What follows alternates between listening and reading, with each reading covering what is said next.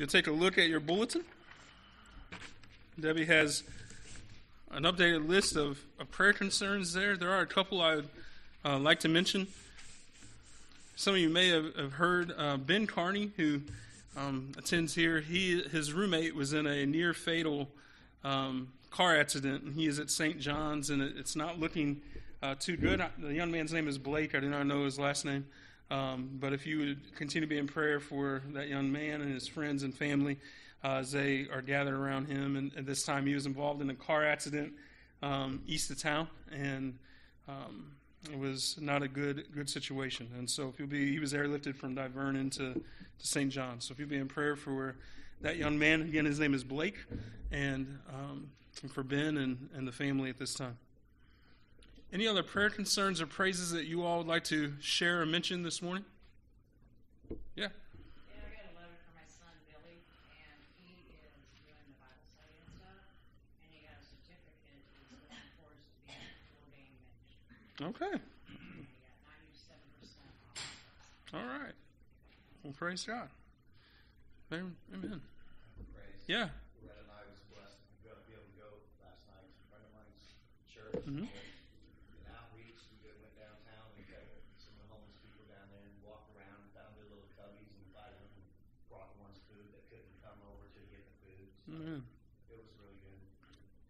a blanket drive here next week or two. So it's getting colder to pass out the blankets for the homeless. So All right. if y'all have any extra blankets or anything, Yeah. Sure appreciate the help. Okay. Amen. Have you guys heard that? They're they're helping out with a, a church that's doing some ministry on the streets, and so they're getting ready to do a blanket drive. If you have any extra blankets, uh, please get those to to Freddie and Loretta, and they'll make sure they get get used. Anyone else? Yeah. Um, prayers for this week. Steve starts his radiation Tuesday. Um, there won't be a lot of side effects, but it's going to go well. And uh, our friend that we prayed for last week had his surgery on Friday.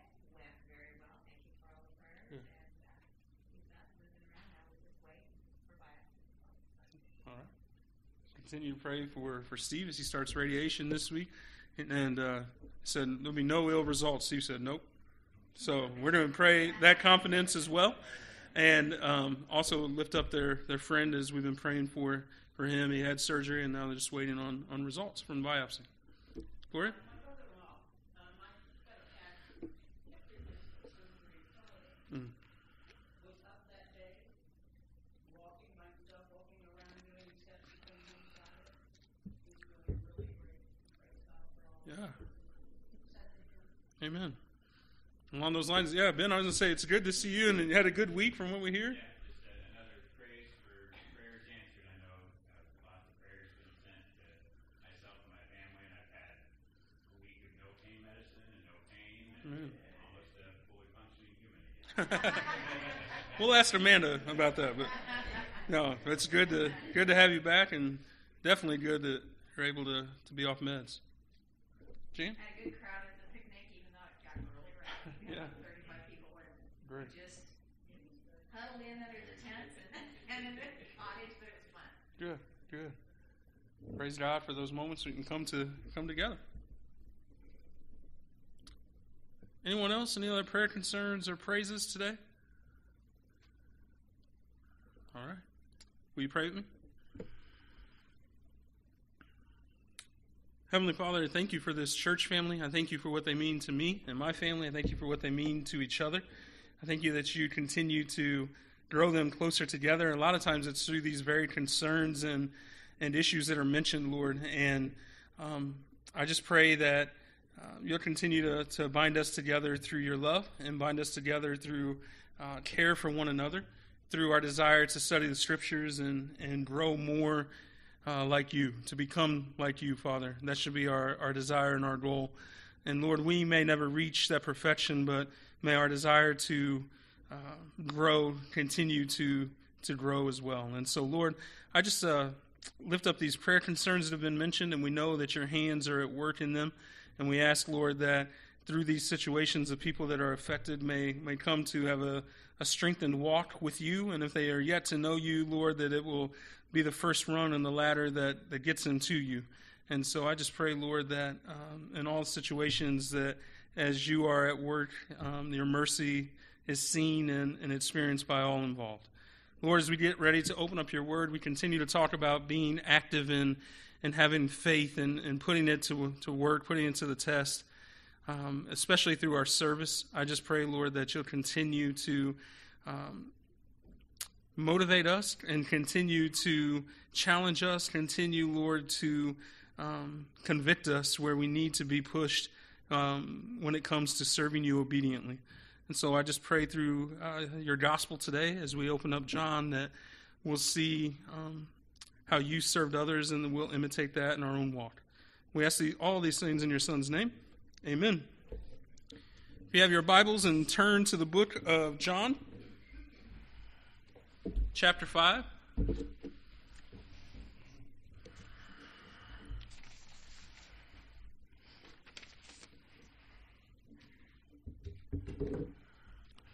We're going to begin in verse 5.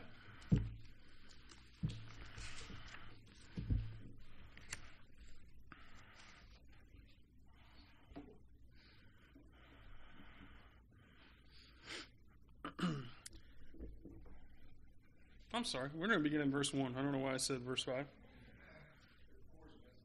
What's that? What did I say?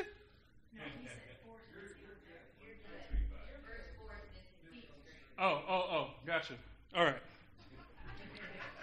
We're going to read John chapter 5. I'm going to start in verse 1. I don't know where we'll end up, but hopefully around 15, I think. After this, there was a feast of the Jews, and Jesus went up to Jerusalem.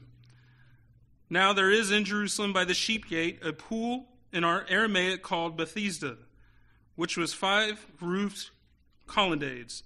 In these lay a multitude of invalids, blind, lame, and paralyzed. One man, and this is where our focus is going to be today, one man was there who had been an invalid for 38 years. When Jesus saw him lying there and knew that he had already been there, sorry, I'm sticking together, been there a long time, he said to him, Do you want to be healed? The sick man answered him, Sir, I have no one to put me into the pool when the water is stirred up, and while I am going, another steps down before me. And Jesus said to him, Get up, take your bed, and walk. And at once the man was healed, and he took up his bed and walked. Now that day was a Sabbath. So the Jews said to the man who had been healed, It is the Sabbath, and it is not lawful for you to take up your bed. But he answered them, The man who healed me. The man said to me, Take up your bed and walk. And they asked him, Who is the man who said to you, Take up your bed and walk? Now the man who had been healed did not know who it was, for Jesus had withdrawn, and there was a crowd in the place. Afterwards, Jesus found him in the temple and said to him, See, you are well. Sin no more, that nothing worse may happen to you. The man went away and told the Jews that it was Jesus who had healed him. Let's pray. Heavenly Father, we thank you for your word. And I just pray, Lord, that through this passage we'll see the heart in which you serve. And Lord, sometimes we get so wrapped up in into making sure things are just right before we act on them or before we do them. And help us to see, Lord, that um, in your prayer and in your preparation, you are always prepared to serve where the Father leads. May that be our desire as well. Amen. So, we're going to keep on moving through this faith in action part of our, our year long series. Um, and we're preparing our minds and our hearts to go and serve other people as we serve Christ. And faith in action is one of my favorite Sundays. It's been one of the, uh, my favorite things that we have done together over the last uh, eight years or so that we've been here. But I know for some of us, when it comes to serving and doing something good for other people, there is no shortfall of opportunities, right? If you look out there, there are many opportunities to help someone or to support this cause or to support that cause. There are all kinds of opportunities because all around us there are people in need. All around us there is someone who needs something. There are people sick in the hospital, and that could be an opportunity for us to visit and share God's love in that way. There are people in nursing homes, and often basically they're they're alone a majority of their days unless their loved ones come after work to visit. We could go and share God's love in that way. Uh, there are children that are abused and ignored by parents. There's the alcoholic and the drug addicted, and there's the food addicted, the homeless, and in some cases, there's a person that has given up on life itself And all of those people and all of those situations are opportunities for us to be Jesus to them, to be the church. Opportunities for us to share the love of God. See, if we are to take the time to make a list of people in need and therefore opportunities to serve, we would be here all day. We'd be here for quite a while. There's probably not enough time to complete that list. And at least sometimes we, or should I say I, when it comes to this, I feel guilty uh, because we aren't doing enough to help. After all, we're supposed to be like Jesus and help everyone, right? We're supposed to be like Jesus and, and help everyone. We're supposed to have this some positive response for every opportunity that presents itself, aren't we? But in reality, that doesn't always happen. And here's a question to ponder. While Jesus physically walked this earth, did he in fact help everyone? See, as we're getting ready to talk about faith in action, and as the planning team met, we come up with ideas, and oftentimes there are probably people that we could help that get left off the list, and rather because it was an oversight or we just don't know them. But for whatever reason, there are people that don't get included. And so I want us to think about that. Did he in fact help everyone? And here's another question today Is Jesus helping everyone right now? Is he helping everyone? And I suppose if you want to get philosophical, we would answer, Of course he is. Of course he is. Or we might say, Romans 8:28. I don't know if you know what it says, but it says, "And we know that God causes all things to work together for the good of those who love God, to those who are called according to his will, or some translations say purpose." But that really doesn't answer the question, does God help everyone? Now, certainly through his birth and through his life and death, and most especially through his resurrection, Jesus offers ultimate help to everyone who would receive it. He offers salvation to anyone who would believe.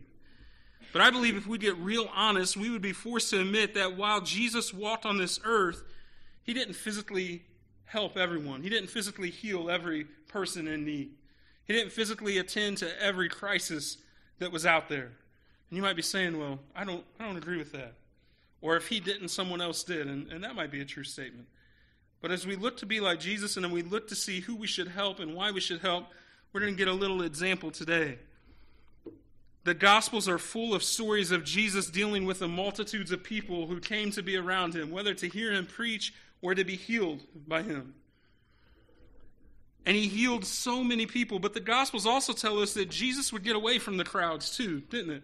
He got away from the crowds to pray, he got away from the crowds to be in conversation with the Father, he got away from the crowds to have reflect, reflection, even when there were still multitudes of people to be helped.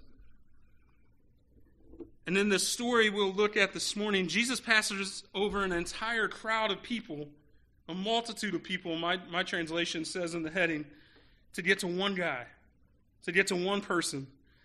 And the fact is that one person that he helped may not have even wanted to be helped.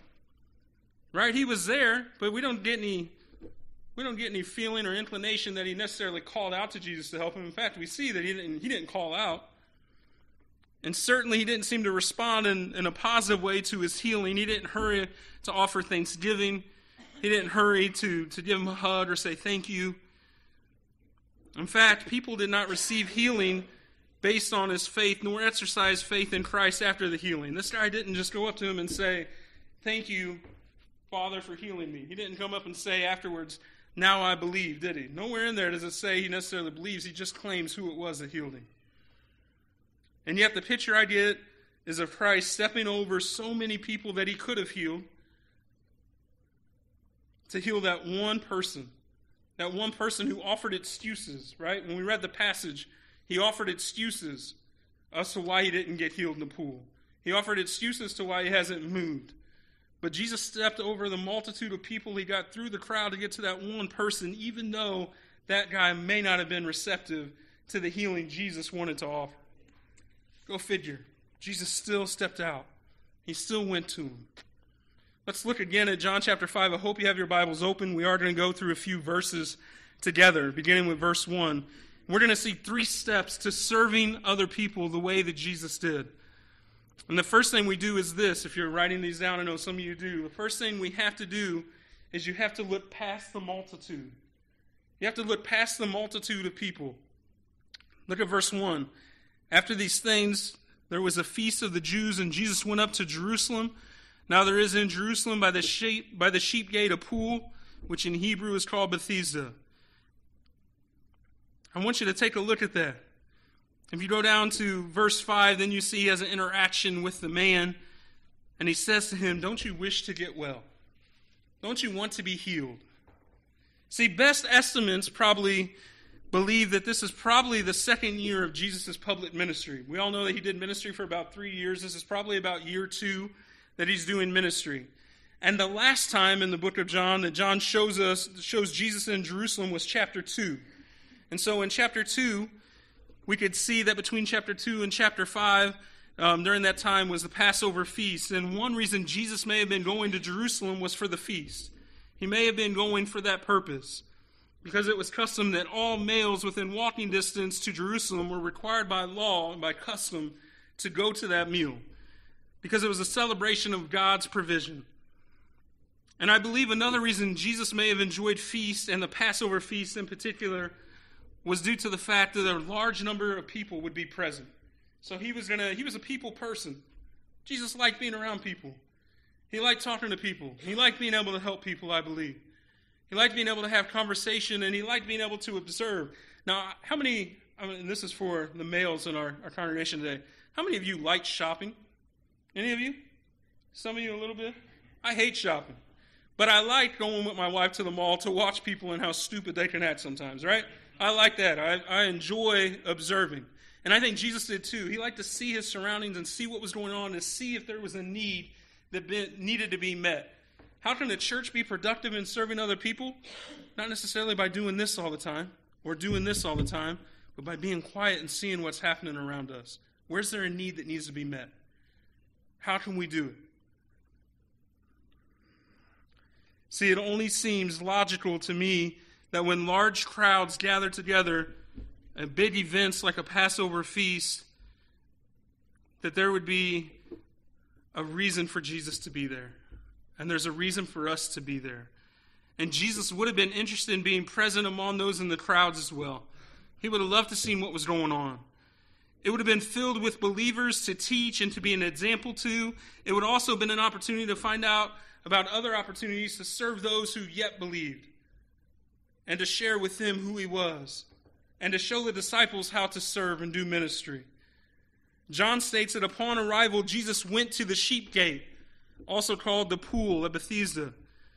See, it's believed that this pool was a location, and it's still there today as far as the location, not the pool. And it's now St. Anne's Catholic Church.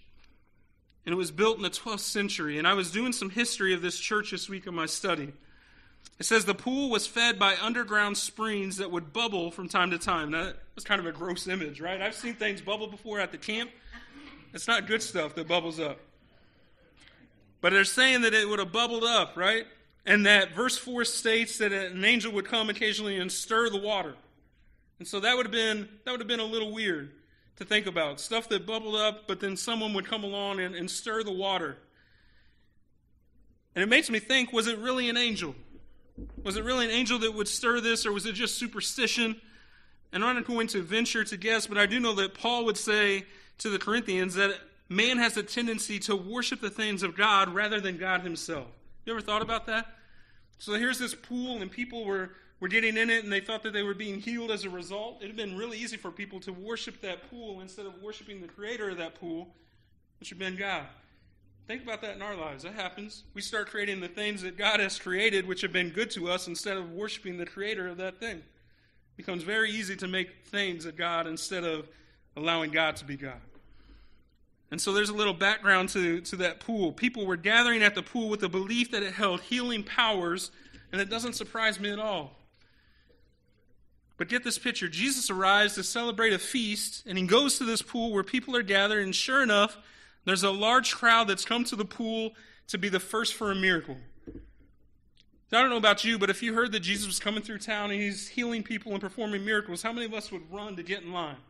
I would. I wouldn't make it very far because I'm not a good runner, but I would try. I would get there. But picture the crowd of the people there. Many were blind, many were lame, many were withering away. All of them were sick, and all had needs that they believed miracle water could cure. And then enters God Himself to the picture. And it seems incredible to me to think about this. This is God coming in. And Jesus wouldn't really need to touch anyone, right? He could just speak them to healing, as He does.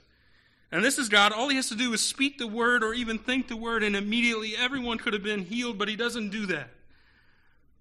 It seems to have been like that everywhere Jesus went, people would just gather and be close to him and hope that by touching him or, or talking to him or, or seeing him that they would be healed. The multitudes would gather, and yes, sometimes multitudes would receive healing, but the gospel writers often, even most often, seem to depict Jesus as healing someone, but not everyone. Have you ever noticed that? When he's in these crowds, he heals someone. We know about King Jairus' daughter, and we know about other people that are around, and there's usually crowds of people in need as well. But we read about in the Gospels of him healing one person or maybe a few people, but never an entire group, unless you consider the loaves and the fish to be healing, and, and then maybe so. But think about these examples a woman who reaches out to touch his garment, a leper in the midst of a crowd, a demon possessed man, and then on the examples could continue over and over. Even Jesus didn't heal everyone. His focus was oftentimes much smaller, it was often more dilated than that. Why did you, Jesus choose to just pass over all the others and touch this one individual? I'm not really sure, but let's take a look at verses 5 and 6. It seems to indicate that it might have been due to the duration of his illness. Look at what it says. He had been an invalid for how long? 38 years. Can you imagine that? 38 years. So Jesus sees him there. So we can read and see that it may have something to do with the time of illness, the length of illness. And so he goes up to him. And in the long run, maybe he chose this man because it would bring the most glory to God or, or because it would move him that much closer to the cross if this man was an unbeliever. We don't really know the reason. But we know that Jesus looked past the many that were present and focused on this one individual. And secondly, when he found the one, his question was what? Do you want to be healed? That was his question. Do you want to be healed? And so that leads us to ask the question where can I begin to minister to people? Where can I begin to minister to people? Well, the fact is, church, that we can't help everyone. We have to get past the multitude, but we can narrow our focus and zero in on one someone or one group of people and offer the best help that we have to those people in hopes that our service and our help will lead them closer in their relationship with Christ. And if they're yet to know Christ, it'll lead them that much closer to knowing Him. Once we look past the multitude and we begin to help people, we begin to have a focus of who we should help and who we should serve.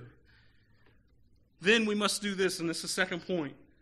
We must remove the excuses. Remove the excuses. Remove the things that are keeping you from action. Remove the things that are keeping you from doing God's will. Again, verse 5 a certain man was there who had been 38 years in his sickness, been an invalid for 30, sorry, 38 years. And when Jesus saw him lying there and knew that he had already been a long time in that condition, he said to him, Do you want to get well? And the sick man answered him, Sir, and he started to do what? List all of the excuses, right? He started to say all the excuses. I have no man to lift me up and put me in the water. That's his first one. But while I'm I'm coming, another one steps down before me. There's another one. And Jesus said to him, Look, I don't have time for excuses. I have time to, to love and to heal. And these excuses get in the way. So what's he say? Arise. Get up.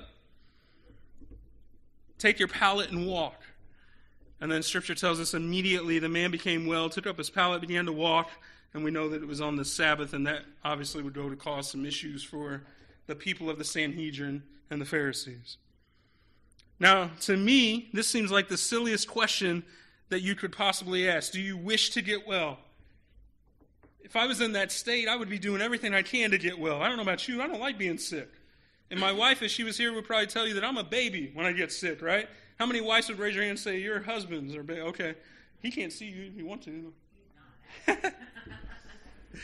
but I don't do well being sick. But it seems like a silly question to me. Actually, the man's answer seems more foolish to me, right? Because it was, in fact, not an answer to the question, but rather an excuse for why he isn't already well. Jesus is saying, Why haven't you done what you could do to better yourself? How many times have we wanted to help someone, and, and instead of just helping them, we stop and say, But have you taken advantage of this program? Have you done this? Have you done that for yourself? Have you tried this? And so, Jesus doesn't get through the excuses. He doesn't accept the excuses. He doesn't make excuses. He just says, Get up. Get up and be healed. Arise and be healed. And I think about that. How many times when we go to serve people do we make excuses because we're uncomfortable of what God's called us to do? How many times do we make excuses because it's not necessarily what we want to do, but it's God's will for us to go do that? I think more times than we'd probably like to admit that happens. See, wouldn't you assume that if someone says, Can I help you? they might be willing to help? But instead, this guy gives excuses like, I've been burned before and I haven't got help yet, so you want to hear my story, but you're not going to help me. I've been here 38 years and no one's done it yet. Why are you any different? Folks, there's going to be people that we are called to go and serve, and they're going to say, Christians are hypocrites, and they're going to call you every name under the bus, but it doesn't mean that we're not supposed to help. It doesn't mean that we're not supposed to be Christ to them. Now, it doesn't mean it's going to be easy to take the criticism and the ridicule, but I guarantee you it's possible to get through it. See, I just wondered did this man not recognize who Jesus was? All these people were gathering around, and I don't know who he thought he could have been since a multitude of people got bigger and bigger around him. But maybe he didn't recognize who he was, and maybe he didn't recognize a valid offer of help when it appeared before him. But maybe that shouldn't surprise us so much after all, because we often make excuses ourselves. Right? We might ask ourselves, don't you want to lose weight? Well, I've tried this new diet, and I've tried that diet, and it didn't work for me. Or maybe, maybe it's, well, I go walking, but that doesn't seem to help. Or how about, do you realize that you have a habit of gossiping? Anybody guilty of that? It's hard to admit, but I, I can be. Gossiping's tough. And maybe we'll justify it and we'll make an excuse and say, it's not really gossip, I'm just soliciting prayer support, right? or no, that's not gossip, I just have to vent my frustration. It's bad for me. My counselor says I need to let it out, right? Sometimes, church, people, including us, are so full of excuses that we don't even realize we're in the need of help. Sometimes we're so full of, I can't do that, that we forget to appreciate what we can do. In this passage, it's almost as if Jesus didn't even hear the man's excuse. Do you want to get well? Then get up and walk.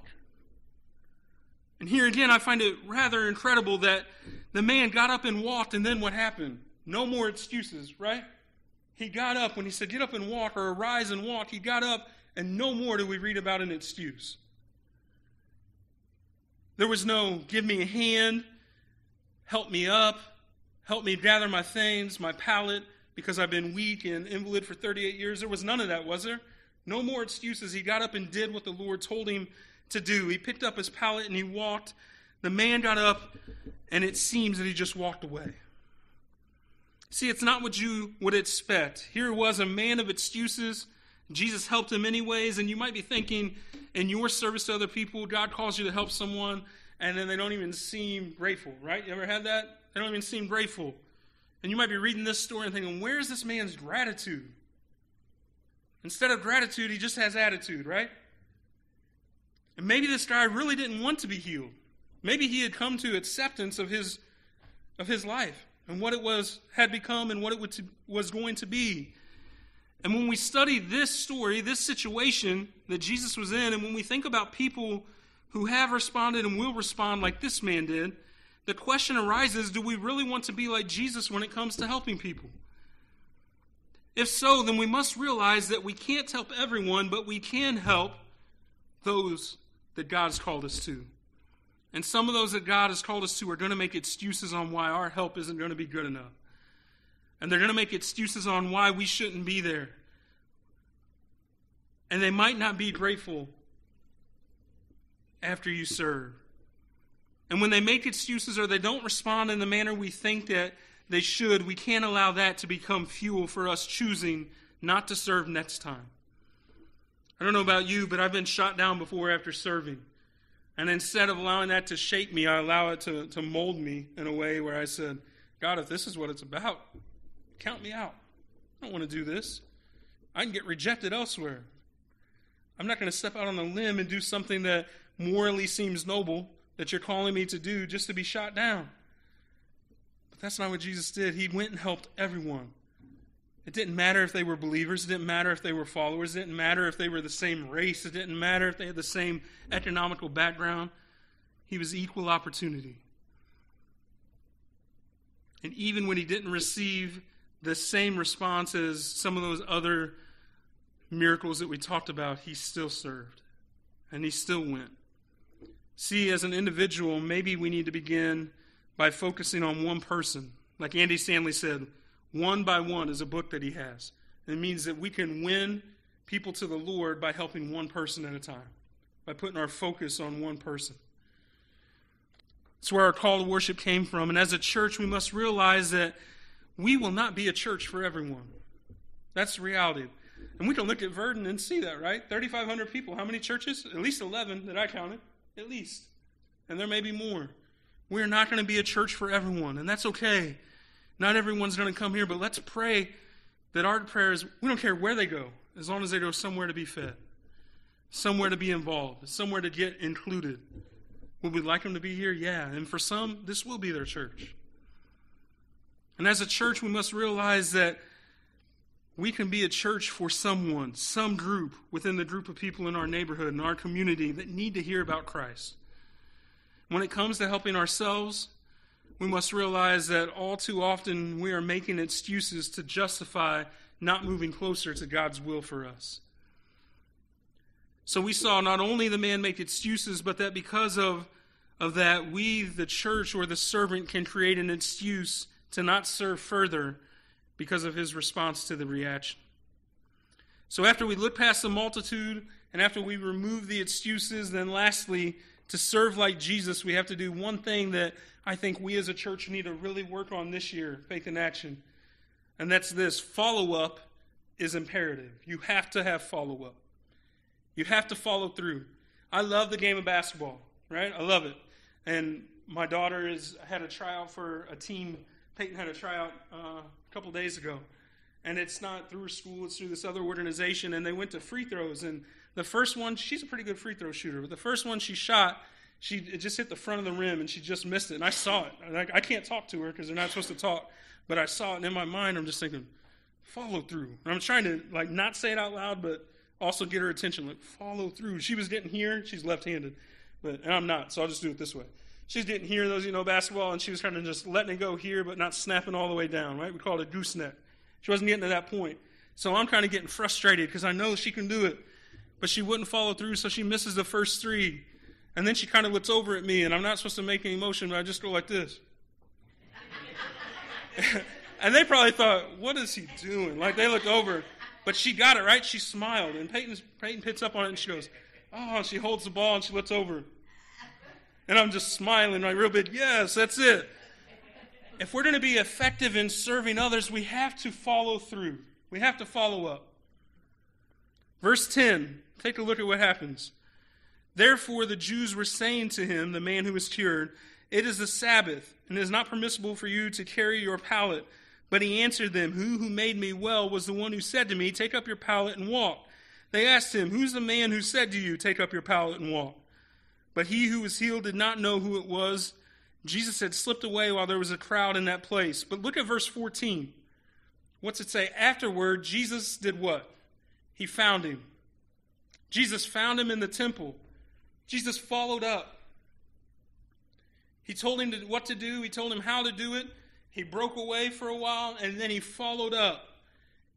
He followed up and he said to him, See, you are well, sin no more. So he's saying, See, that stuff I asked you to do, it made you well. He followed up with him. Church, if we're going to serve others and eventually lead others to Christ, we can't just lead them to Christ and then leave, right? Nobody's going to know what to do next. We have to follow up and say, here's the Christ that I brought to you. Here's, here's Jesus that I shared with you. Here's your journey. But then we need to come beside him and how's it going? Any questions? things you don't understand, things I can pray for, things I can show you in Scripture, things I can tell you about. We have to follow up. We can do all the service in the world, but if there's no follow through or follow up, are we really helping people fully with all of our ability? See, Jesus didn't just meet the need, but he followed up to make sure they knew how to live life after that need was met. There has to be follow through when it comes to service. There has to be follow up. One of my favorite things was when I, when I was at Judson, and the first the first Saturday of every month we would catch the Metrolink, and it was about we were about 45 minutes. If you don't know where Judson is, about 45 minutes northwest of Chicago. And so we would jump on the Metrolink and we would go into the city at Union Station, and we had probably 500 brown bag lunches every Saturday. It was one of my favorite things to do to go and and, and serve those meals and talk to people a lot like what you guys are, are doing and be able to, to meet those needs, but even more to that, just talk to them. And what we found out right here on Wednesday nights in churches around the world that some of the kids that we get into the church, they were more receptive of the gospel when their physical needs are met, right? When their bellies are full, then we can fill their souls. I truly believe that. And I know that you guys have too because you founded Wednesday night program way before I got here. And that's what was going on when we went to Chicago, and that's what was going on here. Jesus met a need and then he followed up. So, what would happen? We would go in Chicago and we'd, we'd hand out meals, and then there'd be a group of people, not me because of commitments I had with, with baseball and other things, but a group of people who would then go the next week and say, Hey, here's another meal, but did you think about what we talked about last time? There was follow through, there was consistency. And because of that consistency, there was growth. If we want to have growth that comes from our service, then we have to follow through. Verse 14 again says, Jesus found him in the temple. Jesus didn't just stumble across the man, he knew he would be there. He knew where to find him. And when we're, when we're honest with ourselves, the people that God calls us to serve, we'll know where to find them. When we're called to help them, we'll be able to find them again. And maybe it's through getting a phone number, but if they're homeless or they're in another situation, we'll see them again. We'll know where to catch them. We'll know where we can be able to intersect our paths. See, the man had been helped physically, but physical help is not what is ultimately important. Ultimately, Christ's concern was for his spiritual well being, right? Because he went to him and he said, You are well. See, physically, you've been taken care of. Then what's he say? Sin no more. Sin no more. He took care of his physical need, and then what did he do? He took care of his soul. it has been tried and tested and proven to be true that if we can meet people where they're at and help them with some of those physical needs, their reception to the gospel is going to come. It's going to come. The only possible place, see, what I like about this story is the only time in Scripture that I can think of where Jesus healed someone apart from faith. And what I mean is that no one approached Jesus on this man's behalf, right? A lot of the other miracles people who knew who Jesus was or knew that, that Jesus was coming and believed in Jesus would come and say, Hey, so and so has leprosy. Can you come and heal them? Or, Hey, my daughter has this going on. Can she come and be healed? Or, Hey, so and so. That doesn't happen here. This is one of the only times that I can account for in the Gospels, that, in my reading, where faith doesn't really come into play. But the man obeyed and he got up and he walked, but he never asked for anything nor offered Christ praise. He didn't ask for Jesus to heal him, Jesus just, just did. He didn't even offer a thank you. But Jesus still followed up with him. See, my prideful self would have been like, man, I just helped you. You can at least say thank you, right? That's not what Jesus said. But Jesus just offered him what to do next. He said, hey, yeah, you're healed, but this is what you need to do to stay in this state. Because he says, sin no more, that nothing what worse may happen to you. Christ looked for this man to offer him some good advice. Stop sinning. And if you look at this passage in the Greek, if you take a look at it in Greek, it translates to an, a phrase, and at the end it has an exclamation mark. It says, if you look at it in the Greek, it says, stop sinning now. It doesn't say stop sinning and just it. But if you look at what it says in the Greek, it actually translates and breaks down to stop sinning now. If you want to be healed, you want to accept what happened, you want to stay that way, stop sinning. He met the physical need, he met the spiritual need. He followed up to make sure that guy knew which direction to go. If he enjoyed his new life, if he enjoyed his new state, then Jesus followed up and said, This is what you have to do. if we're going to serve other people by mowing their lawn and raking their leaves and, and doing this or that, and for some reason they happen to be a non believer, then we have to follow up with them, right? If that's our opportunity to get in the door and we say, hey, do you know about Jesus? And they say no, and we share, we got to have some follow up. Oh, I just came by to make sure that the grass didn't need cut again. But by the way, what'd you think about that story in John? What'd you think about this? We need to follow up. I'm not sure what all this means, but the only time I can see that Jesus helped apart from faith, it also appears to me to be the only time that Jesus ever associated a physical illness with sin. If you look at all of the miracles, if you look at all the times that he healed people, this is the only time in the Gospels, and I challenge you to go look this up, right? Don't take my word for it. Read through the Gospels. See what I'm doing? I'm trying to push you along. I'm trying to follow up with your spiritual walk, right? But go and see that this is the only time that it translates to um, someone physical illness with sin. But nonetheless, Jesus follows up to see the progress of this man, and it serves as an invitation to be changed from his past and to be holy. We are a very important part as servants of Christ in helping people get from their past to holy. As we close today, there's a point that I would like us to understand from this passage this morning, if nothing else. As we strive to be God's church in this community, and we desire to help people and bring people into us, we must realize and accept the following truths we will not be able to help everyone. We can't do it. And we won't help everyone. But when you think about you, who you are and you think about your life and why things have happened, what if your life happened and the things that have happened to you took place just so you could help one person?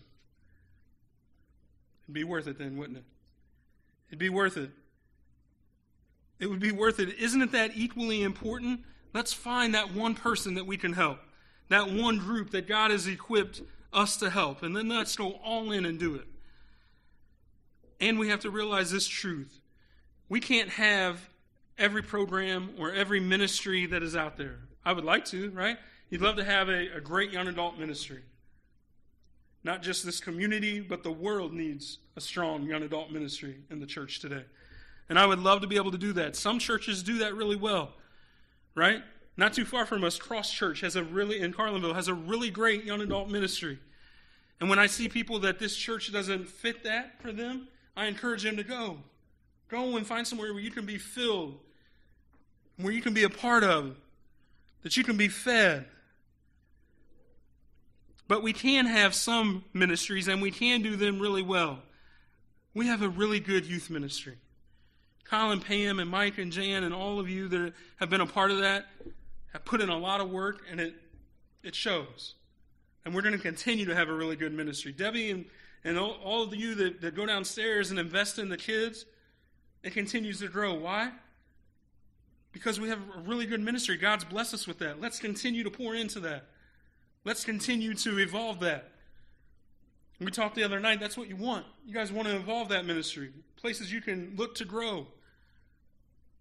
We won't have every program, but the ones we do, let's do it to our best ability. Let's focus on the gifts and the talents that we do have.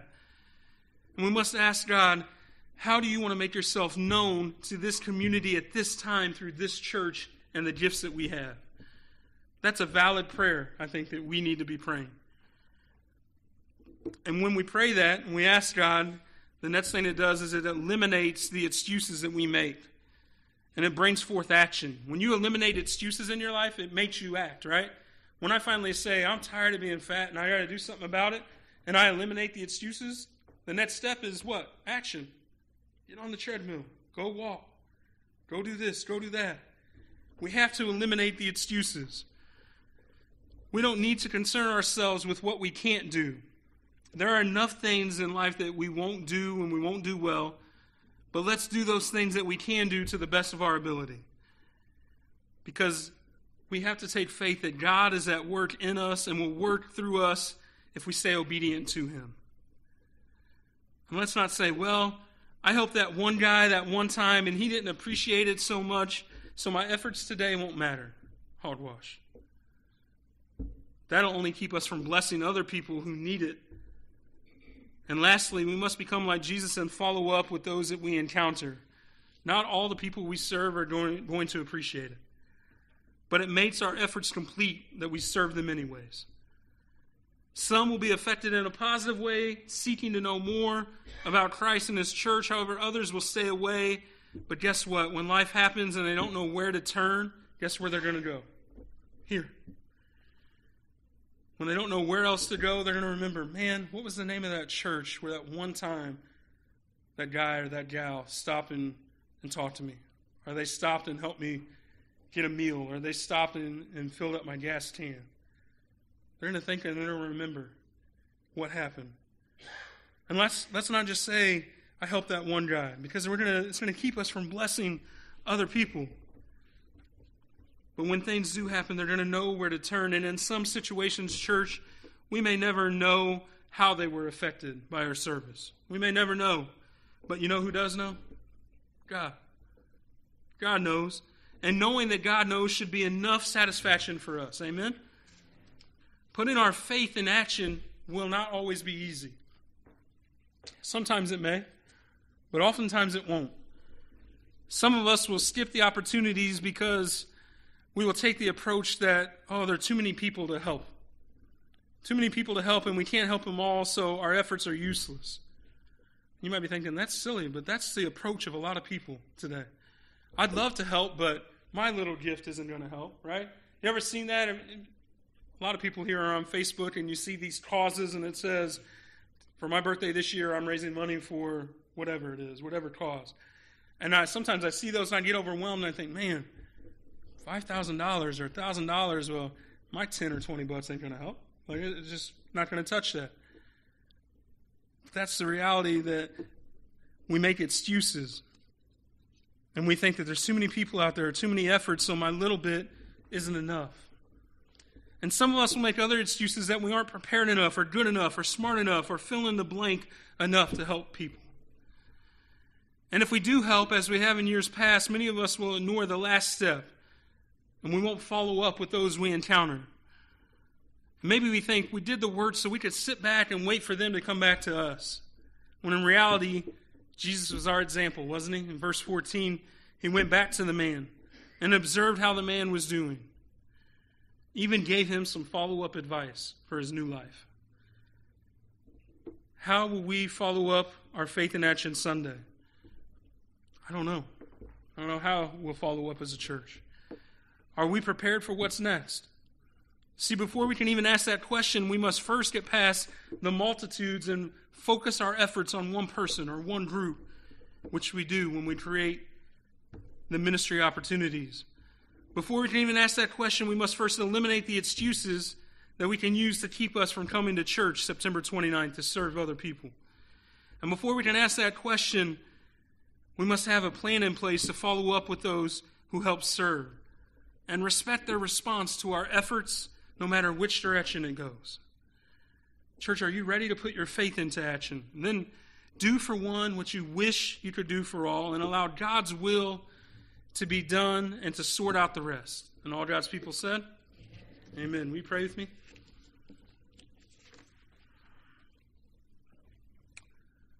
Heavenly Father,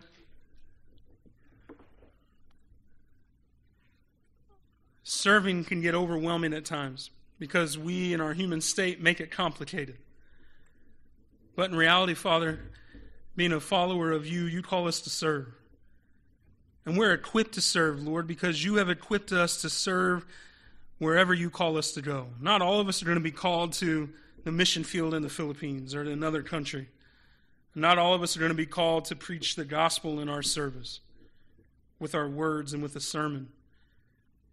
But you do call all of us, and you equip all of us with a gift, and we can serve with that gift in a way that will impact the world. And while I may be blessed with the gift of preaching, there's others in here that are blessed with hospitality, others blessed with teaching, others blessed with nurturing, others blessed with grace and extending mercy. And Lord, that's what makes service within your church work.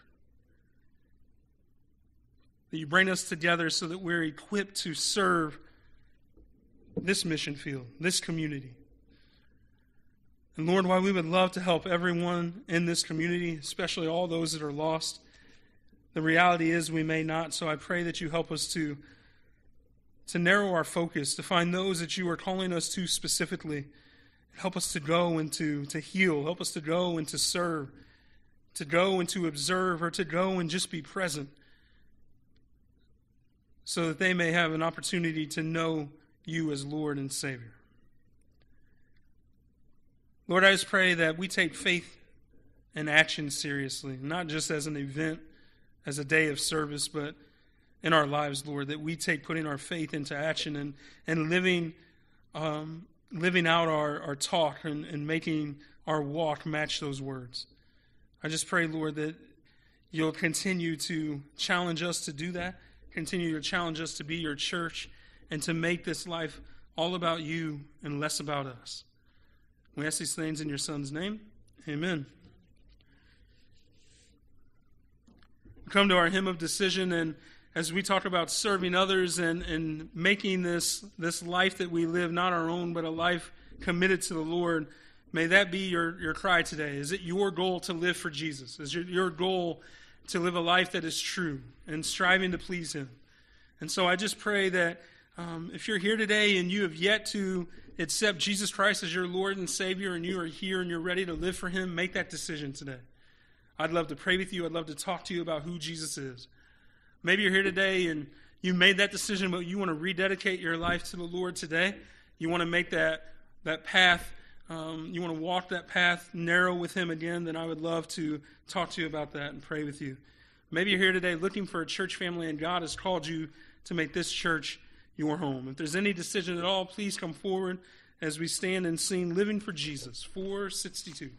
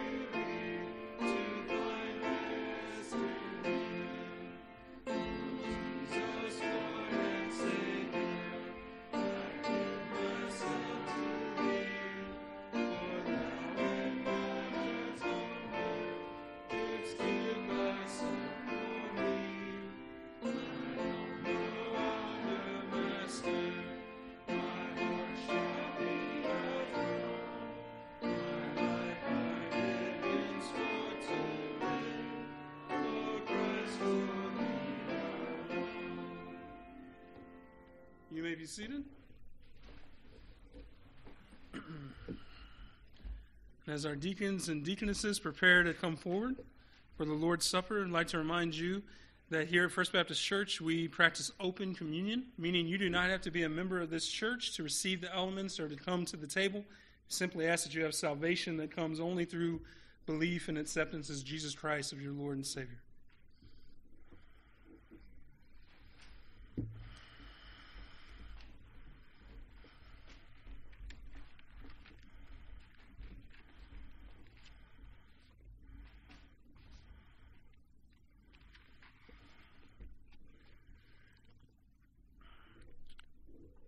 Paul tells us in 1 Corinthians, For I received from the Lord what I also delivered to you, that the Lord Jesus, on the night in which he was betrayed, took bread, and when he had given thanks, he broke it.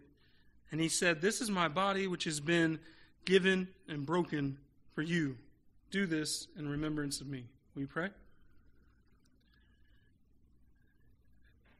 Heavenly Father, as we have our heart and our minds focused on being intentional this year and serving you and living for you. I pray, Lord, that in order for us to be intentional, we never forget our roots and where it comes from. And it comes from your one and only Son's body being broken for us to take upon the sin of the world.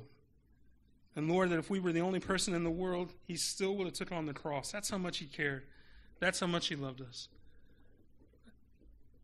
And so, Lord, I pray that as we come to the table today and we reflect on our own salvation, help us to know and to make it personal, Lord, that even if our brothers and sisters weren't around us, that we could still be in reflection and still be in thanksgiving because he still would have been broken for us.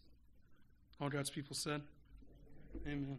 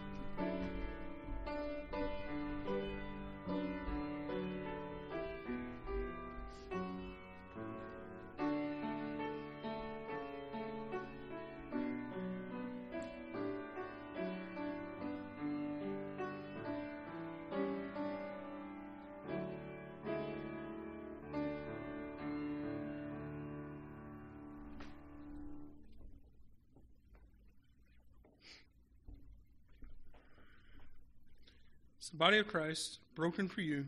Take and eat.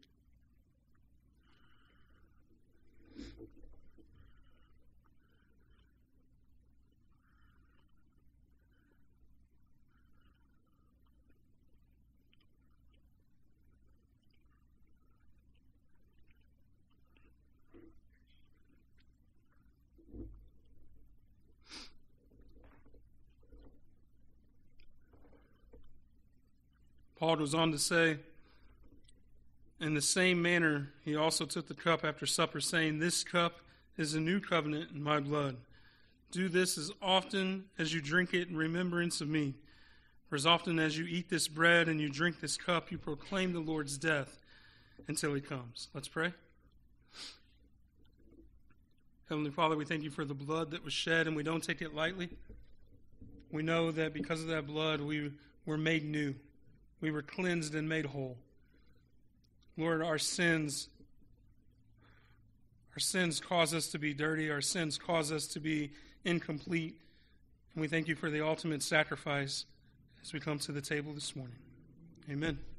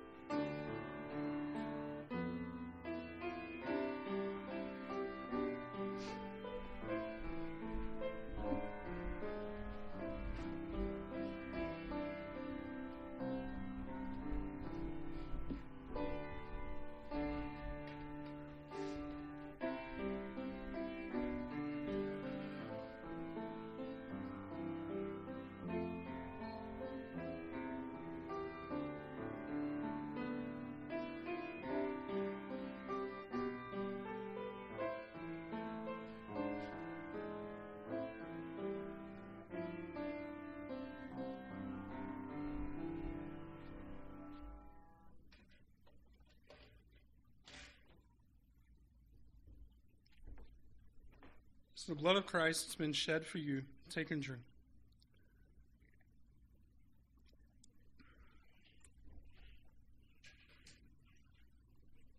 Part of our tradition here at First Baptist Church is to gather and sing Blessed be the tie that binds. And we might not be able to make it all the way around today, so if we want to cut through one of these pews, that would be fine.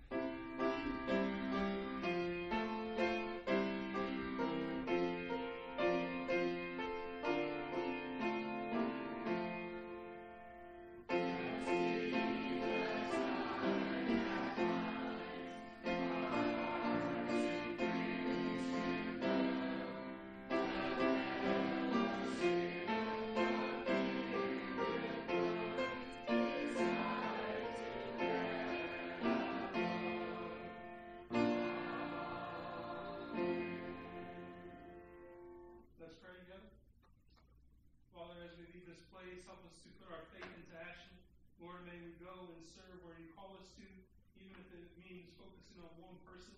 May we not make excuses, Lord, and may we follow up and lead people to Jesus. And all God's people said,